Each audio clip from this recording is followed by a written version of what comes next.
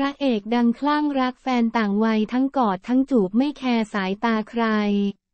คลั่งรักไม่เปลี่ยนเลยสำหรับความรักของพระเอกดังเจคจินเลนฮาน จาเกะจินเลนฮาน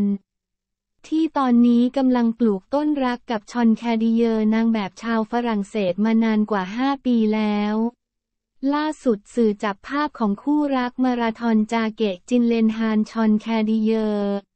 กำลังจับมือเดินเล่นสุดโรแมนติกในโซโหเป็นย่านการค้าเก่าแก่แห่งหนึ่งของเมืองนิวยอร์ก ปิดท้ายด้วยช็อตจูบหวานหวานไม่แคร์สายตาใคร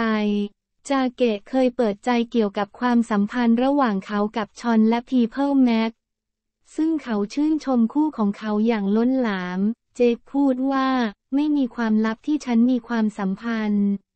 และเป็นความสัมพันธ์ที่ยอดเยี่ยม เราเป็นคนส่วนตัวแต่ฉันเดาว่าเราคือสิ่งที่เราเป็น เราแค่ใช้ชีวิตของเราเรามีอยู่เสมอและฉันก็รักที่คนสนใจ แต่ในขณะเดียวกันก็เหมือนของของเราก็คือของเรา เจคยังกล่าวเกี่ยวกับโอกาสที่จะได้ลงหลักปักฐานด้วยว่าฉันอยากมีครอบครัวและถ้าเป็นเหมือนครอบครัวที่พี่สาวฉันเลี้ยงดูและปลูกฝังมา ฉันก็ภูมิใจ เสริมว่าความสัมพันธ์ของเขากับชอนนั้น สิ่งที่สำคัญที่สุดในชีวิตของฉัน